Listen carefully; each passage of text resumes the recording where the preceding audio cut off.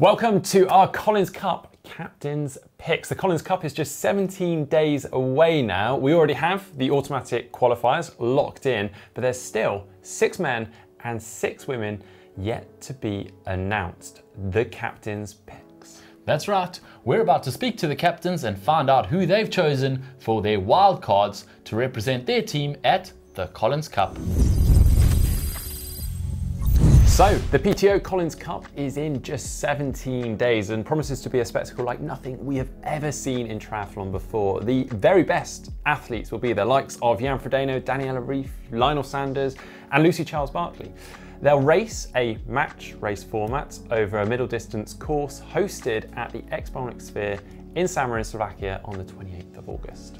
That's right, over 12 race matches pitting the best of the best from Europe, the USA, and an international team against each other. Points will be scored towards a team total and the crowning of the PTO Collins Cup champions. Yeah, and the first four athletes on each team have already been selected based on the PTO World Rankings. But joining those automatic qualifiers, we have four additional wildcard spots, two men and two women for each team. And they can be any PTO pro triathlete. So the list of potential athletes really is quite incredible and quite long. Olympic champions, Ironman and Ironman 70.3 champions, and even previous world champions. Yeah, so without further ado, let's hop on a call and speak to the Collins Cup captains and find out who they've picked. Thanks for joining us, uh, captains for Team Europe for the Collins Cup. Two times Ironman World Champion Normann Stadler and six times Ironman World Champion Natascha Badmann. So you guys are the team captains for the Collins Cup and it's Captain's Picks Day. So we're very excited to find out who you guys have chosen to represent your team. Obviously, we already know uh, that you guys have a pretty strong lineup on the Team Europe uh, with uh, Daniela Ryf, Anne Haug, Lucy Charles Barclay, and Holly Lawrence on the women's side, and Jan Frodeno, Gustav Iden, Joe Skipper, and Patrick Langer on the men's side. So, how do you make that team even stronger? Thank you. It's definitely not an easy decision. There are so many strong athletes. And Norman and I, we said that the best thing would be to have two teams. Of, of course. Uh, in the end, uh, we, we both could start and we win. So it's. Uh... so, so, should we start with the women's wildcard captain's picks? So the women's captain's picks are Kat on the on the first position, and on the second position it's Emma. So that's Kat Matthews, who was uh, second at Ironman Tulsa, and Emma Pallant, who had just won Ironman 70.3 Bol- Bol- uh, Boulder this weekend. Fantastic. And Kat also, obviously, that phenomenal run performance. Yeah, woo! So, yeah, congratulations, those guys. So impressive. Now, Norman, over to you then for the men's. So I picked uh, Daniel Bækkegård. Ah. And uh, the next one is uh, Sebastian Kienle. Well, brilliant. Well, Wow. Sebastian Kienle, previous 70.3 world champion. You can't really go wrong with a selection like that. Uh, and Daniel Bækkegård, who uh, won Ironman 70.3 Dubai earlier this year with a fantastic 110 run split. So certainly a man who's going to be hard to beat. In fact, I can't really see anyone in the European team that's going to be easy to beat. It's an absolute powerhouse on the bike as well, that team. Um, you, yeah, I mean, it's going to be tough for the other teams facing that. Can you guys see any threats coming from the other teams? Who you who you watching out for uh, from Team USA or Team International? I think they're gonna do everything possible to beat or mix it up. So probably they have some strategies that they don't tell us now to uh, yeah to change the game.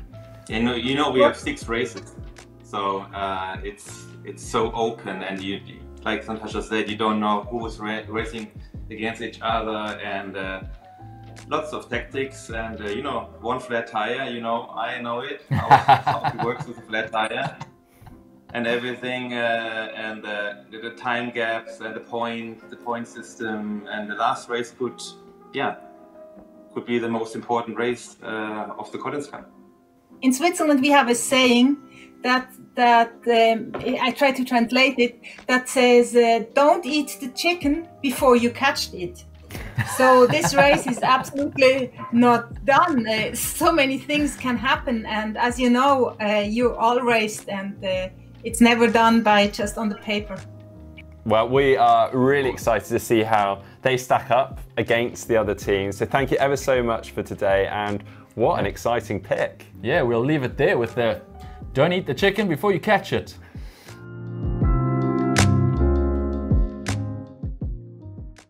Wow, what a team, James. Yeah, honestly, I can't see anyone beating the European team. I mean, the automatic qualifiers are already stacked. They've got Daniel Ryf, they've got Anne Haug, they've got Jan Frodeno, they've got Gustav Iden, and that's just their first two choices on the men and the women. And then their automatic qualifiers, they've basically just gone down the next couple steps in the ranking. So on the women's side, they've got fifth ranked and then sixth ranked, which is Emma Pallant and then Kat Matthews in their team. And fifth ranked on the men's, Daniel Bækkegård. The only way place they uh, kind of deviate from that ranking list is with Seb Kienle, who is ranked a paltry 19th in the world. He's only 10th in the Such European a team. wild and they've card spot. A wild card. But Seb Kienle, he's Ironman world champion, 70.3 world champion. I mean, how many Ironman 70.3s has he won? He's not really a wild card. He's not a crazy pick, is he? Yeah, I would never bet against Sebastian Kienle, that's for sure. I mean, I, very exciting, and I'm really excited to see the likes of Kat Matthews pulled in after some really impressive performances of late at Ironman UK and also obviously her run at Ironman Tulsa that turned a lot of heads. Um, and she's a powerful athlete.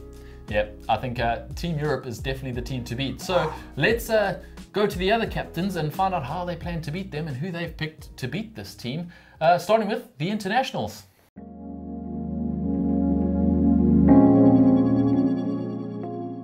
Well, hello, Lisa. We are joined by Lisa Bentley, 11 time Ironman winner. Unfortunately, Simon Whitfield couldn't be with us today um, because he's off in the wilderness apparently somewhere and unable to get on the Wi Fi. Um, now, we are delighted to already know the, the automatic qualifiers for the Collins Cup. So, for the women, we've got Teresa Adam, Paula Findlay, Carrie Lester, and Jeanni Metzler. And then on the men's side, we've got Lionel Sanders, Braden Currie, Sam Appleton, and Max Neumann. But the bit we're here for today is to get the captain's picks, Lisa. So over to you. Yes, well, Simon and I, as long as well as Craig Alexander, uh, we've been chatting on and off for the last several months, looking at who was in the running and who we wanted and who who we were kind of cheering for without cheering, uh, because we thought they'd be great people for the team. And one thing we agreed on is we wanted some speed. We wanted someone who could race well at the 70.3 distance in particular. Uh, if they were doing ITU, that would be brilliant as well. So some things that came to mind were athletes like Henri Schoeman. That was one that came up.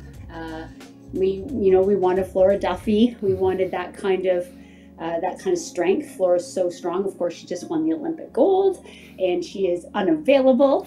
uh, but uh, and, and uh, Henri Schoeman, with his background in speedy Olympic distance as well as 70.3, he'd be a great add-on as well. But he has injury at the moment. So, but uh, we had others. There's a lot of talented athletes out there. So, starting with our women, we're really excited to have Ellie Salthouse on the team. We've been watching her for the past year and a bit, actually, because she did do some races in 2020 where so many people couldn't race. And she's pretty much undefeated over 70.3. She won in Andorra, she won Challenge Shepparton, she won um, in Geelong. She's got a great swim bike run combination. You never can be, bet against an Aussie. They're always really strong. They always find a way to win. Yeah, Uh, she pick. won one of my favorite races, Hell of the West, which is a really hard, hard race, uh, really gritty in Australia. I raced it a couple of times when I was in Australia uh, training. Uh, so she just has consistency and speed. So really happy to have Ellie on the team. And we also have Sarah Crowley, who is actually our fifth qualifier. So we had the top four, and then Sarah Crowley was fifth. Uh, again, has a ton of depth in the sport. Uh, wins, you know, really well known for her wins at Ironman, uh, but she also has you know started the sport as Olympic distance athlete and has had success there, and has some success in the 70.3. But again, really hard worker, gritty, uh, great uh, swim, bike, run across all three. You don't come in third Hawaii without being good at all three. Yeah, excellent picks, and yeah, we're excited to see them racing. As you say, they're ranked uh, fifth and sixth uh, on on the international team, so mm, fairly easy picks for for someone to predict there. Unfortunately, yeah, like you say, you couldn't get uh, Flora Duffy. That would have been that would have been great, but uh, otherwise engaged for obvious reasons. Okay, that's that's very exciting, and we look forward to them going up against the the uh, Americans and the, and the Europeans. So, who have you picked on the on the men's side? Uh, Canadian, maybe. Now, for the men, we uh, we had a Canadian that has been racing like crazy in Canada. We were pretty locked down during the the whole COVID, which is still ongoing. But we were really locked down basically in Ontario, where Jackson Laundry, our pick, our captain's pick, where he lives, uh, we were locked down pretty much from October 2020 until May or June 2021. Uh, pools were closed, couldn't get a haircut, you couldn't do anything. It was really shut down here. And Jackson found a way to race, which meant he had to leave Canada and go to a bunch of races and then come back to Canada and quarantine for 14 days every single time he did that. So he was an athlete who wanted to qualify for the Collins Cup. And Simon, Craig, and I, we were really cognizant of that. We were really aware of that effort. That's the kind of people we want on the team. We want you to be fast, but we want you to have that work ethic. We want you to be dedicated, throwing two feet into the ring for Collins Cup. And Jackson, he won in Ecuador, the Ecuador 70.3. Basically, every race he got faster and faster. So he put it out there. He went to these races, even though he had to quarantine 14 days. He went to Texas, came in 12th, was disappointed. He had a bit of bike problems, but he ran a 110 half marathon. So our radar went up as soon as he he ran that 110. And again, the sacrifice to go to a race. Then he turns that around and goes to Ironman 70.3 Florida, comes in fourth. So that's the true Jackson that we know. Then fifth in St. George, brilliant field, great race. Uh, third in De- Des Moines, and then he capped it off with that win in Ecuador. So, again, coming from a lockdown country and competing in six races in 2020 is uh, dedication, which is what we want. And he's fast. He's got a, he's got a great swim bike run combination. So, really pleased to have Jackson Laundry from Canada on the team, and really happy to add uh, Kyle Smith from New Zealand to our team. We were watching him uh, ever since New Zealand came on the radar. When New Zealand happened, we, and we looked at his 2019 results as well. He won Challenge Wanaka half, which is a challenging half. He won the Port of Tauranga half, and he was third at Ironman New Zealand uh, with a great race. He's a, he's a great swimmer and a great biker and a great runner, but he really has a great swim, which is going to be important. We want to have some really good head-to-head battles, and we'll be taking that into account when we do all the matchups. And then he was just fifth in Elsinore. Uh, and Kyle Smith, you know, he's he's got a lot of heart, and we know he's got a lot of talent, and and I don't think he has a lot of sponsors, and so he's really doing this for the love of the sport, and and and we're really happy that we're going to put him on the Collins Cup stage because this could, you know, this is what the PTO is all about. It's about the athletes. It's about giving them a chance. And I know as a former athlete, when I was like going up the ladder trying to be successful, nobody's throwing plane tickets at you and free hotel rooms and appearance fees. They start throwing that to you after you've won, you know, five Ironmans. Well, by the time you've won five Ironmans, you don't need the hotel rooms, you don't need the appearances. Of course, you always want it, but you know who needs it is the athletes that are just starting. And it feels like the Collins Cup is giving that opportunity to so many athletes. And um, and Kyle Smith really speaks to that. I mean, all of our athletes are, speak to that because everyone can use that break to be on this grand stage to have the publicity. But I, I really love that Kyle Smith is going to be on the team. He's got what we need. He's got the speed. He's been racing. He's been in New Zealand. He's locked down as well.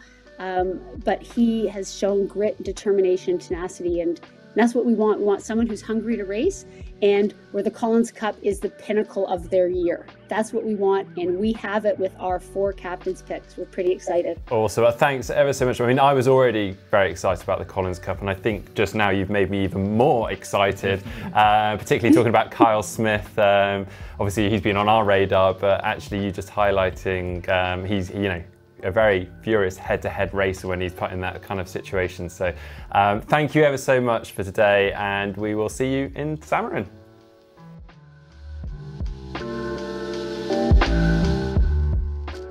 Thanks for that, Lisa Bentley. Uh, pretty Simon Whitfield wasn't on the call there. It'd be nice to chat to him, but I guess we'll see him at uh, at Samorin. He's somewhere in the wilderness without Wi-Fi at the moment. Uh, Sarah Crowley, fifth in the ranking, so easy pick there.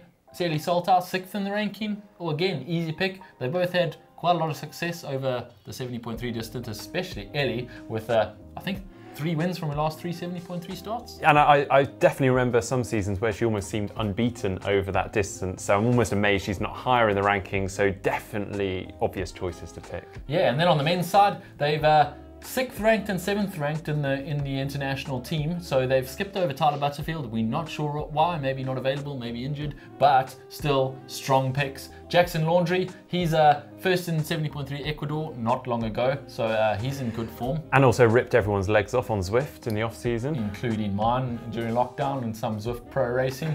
Definitely a powerhouse on the bike, so, and he can run off it. So he's a man to watch. And then Carl Smith, a young gun. He's only 23 years old, so. Uh, getting some experience on the big stage. And certainly, you know, these young guns come in with uh, all guns blazing and he might upset some people. Yeah, he definitely has already. He's taken a few quite impressive scouts, the likes of Braden Currie and, and the like. So yeah, very excited to see them. Now for the final team to see what Team USA have got and what they're bringing to this fight.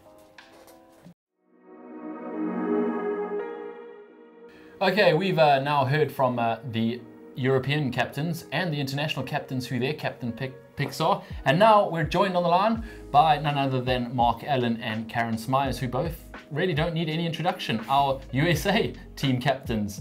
So, the USA auto qualifiers are Skye Moench, Heather Jackson, Jackie Hering, and Chelsea Sodaro for the women. And then on the men's side, we have Sam Long, Rudy Von Berg, Matt Hanson, and Ben Kanute. So all that's left to do now is find out who those last two spots for the women and last two spots for the men are. And for that, we're going to start with Mark. Can you tell us who you picked? Yeah, for me, it was a pretty clear pick. Um, you know, Chris Leiferman and, and Justin Metzler they both have shown super good potential. They're they're guys that are fired up. They uh, Justin, uh, when he heard that he's going to be uh, on the team, he just went ballistic. So that's the kind of enthusiasm that that as a coach I want to see because that's also going to be what elevates those guys to surprise levels of performance at the Collins Cup. So I can't wait for that. And then um, Andrew Starykowicz is going to be our alternate, just so you know, and uh, he's he's also one of those guys that um, whether he wins or not, he's going to entertain the universe and throw the monkey wrench in, in, into the race on the bike ride if he is one of the ones who ends up competing. And as we all know, you know, getting to the race could be challenging for some athletes, but hopefully all of our picks will show up and uh, it's going to be exciting. Yeah, Chris Leiferman and uh, uh, Justin Metzler, both very good picks. And yeah, we actually mentioned Andrew Starykowicz as being a uh, pretty interesting competitor. So if he does get there, certainly you guys uh, won't be uh, handicapped in any way. Definitely be entertaining to watch. Okay, Karen, you're going to tell us uh, who you've picked for the women. Yeah, we are super excited that um, we were able to get commitments from Katie Zaferes and Taylor Knibb our Olympians um, that many of you got to see probably the last uh, couple of weeks, uh, silver medalists. And um, Taylor uh, kind of surprised everybody by showing up at Boulder 70.3 on the final weekend of qualifying and finished second um, ahead of all the other U.S. competitors and um, just showed that she has huge potential at the long distance as well as um, at the short distance. So super excited to have her um, competing at the Collins Cup. And uh, Katie Zaferes has um, has shown her, you know, talent across the board. Um, has shown that she's um, getting uh, fitter and fitter. Got a bronze medal at the Olympics and um, has raced long distance a little bit before. So we know that she um, can rise to the occasion. So definitely a little bit different uh, than what we did with the men's, but I think it really raises the uh, potential of the U.S. team um, at the Collins Cup. That is very exciting. You're definitely bringing a lot of speed to the game here. So um, I'm actually very interested here. Obviously, they were I'd imagine quite last minute picks after the Olympic results. But Taylor Knibb, obviously after the second at 70.3 Boulder, was that a very last minute decision um, to pull her in? And actually, I must add, she did that on a road bike, I believe. Yeah. Is that right? So That's even more right. impressive. Yeah. yeah. Yeah. Yeah. Um, you know, she showed what a, a, good biker she was at the Olympics, right? So um, I wasn't completely, uh, you know, surprised to see that come out of her in Boulder. Um, but we knew that we had to be waiting till the final weekend on the women's side because we also had three women that had been on maternity leave that had shown they could be at the top of the rankings if they could get back in 2021 and show their fitness. So um, we had three other women we were watching closely at that race and knew that the everything could be you know decided at the last minute. So we were sort of prepared to make a last minute decision anyway and um, you know Chelsea earned her way onto the automatic um, selections at that race as well. Um, so yeah, everything was a little bit up in the air, and um, you know we weren't sure that the Olympians would be able to fit it in their schedule, but I'm super excited that they um, both agreed to do so. Yeah, sounds like it's all worked out really well for the US team, and definitely throwing a bit of a cat among the pigeons there with the uh, the really fast Olympic girls. We look forward to them uh, giving the the long course girls a bit of a run for their money at the Collins Cup in a couple of weeks. We'll see you guys there. Thank you so much for joining us today. Well, I have to say, I, I, didn't actually see some of those names coming. No, I mean they've gone for proper wildcards on the American team. Uh, you know they they've got a pretty strong automatic qualifying team. Very strong. Yeah, so uh, they're definitely a team to watch. But uh, Mark Allen and Karen Smyers, they're really going for some wildcards. And they're confident. Yeah, they are. Uh, the short course girls, uh, that's what we were hoping for, to be honest, to see some captain's picks from the short course and see how they mix it up over a slightly shorter than a 70.3 distance race. I think they might uh, turn some heads and, and, give a good fight. But Katie Zaferes, unranked on the PTO rankings, or not in the top 100 anyway, but of course, bronze medal at the Olympics and world champion in 2019 on the WTCS series. So definitely one to watch. Taylor Knibb, even more of a wild card. She's got herself on the rankings, but only last weekend with her second place at 70.3 Boulder. Certainly can ride a bike. She was riding an Oof, and that mixed team relay at Tokyo, she just rode Cassandra Beaugrand off her wheel. Yeah, wasn't that fun to watch? Maybe we'll see some more of that happening yeah. uh, at the Collins Cup. On the men's side, Chris Leiferman, pretty easy decision. He's done pretty well lately. He's uh, ranked fifth in their in their ranking, so he's basically the next one down the list. And then a real wild card because uh, Justin Metzler's only ranked 54th in the world, and he's 11th down their list. They've skipped over quite a few big names. As we heard Mark saying, they put Starykowicz in as their alternate or their reserve, uh, and perhaps he'll end up there depending with COVID travel and stuff certainly he'd be interesting. But I think Justin Metzler might uh, surprise a few people too. Well, yeah, he, he has had some impressive performances. A second at Ironman Coeur d'Alene. So he's certainly an athlete that's coming through. And I know, as Marcus said, he is stoked to be here racing. So he may just step it up. And his better half is racing for the international team too. So uh, he's got that support there with him. So yeah, interesting picks. We're very excited for this. Uh, just 17 days to go.